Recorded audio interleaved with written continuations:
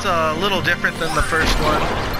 Uh, you no longer have you no longer have Pinocchio inside of him, and if he does that, you can attack his center, which is what you're gonna want to do because you get access to uh, uh, health orbs. A cool thing about this fight is in the last fight, you had to, you had to rely on jumping on the platform to hit his head. But now, since you beat the first one, you got high jump. Now it's very easy to fight this guy. This should help. But he's still gonna have his challenging moments. Donald! Fire!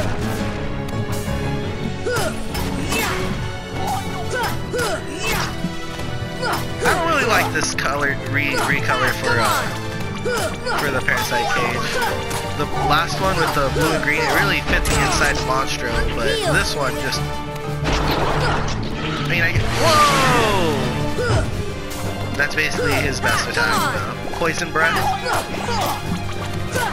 or acid breath. I don't know what it's called, but strongest attack. It's only in this form because he has access to the stomach acid.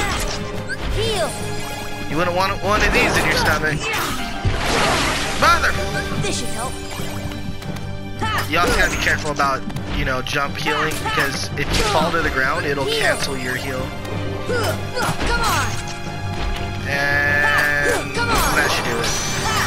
Fight. Much easier than the first one. And all because you have high jump.